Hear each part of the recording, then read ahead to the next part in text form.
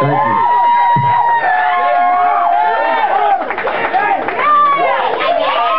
Yeah, hard rock. All right. So we got some merch. You want some CDs?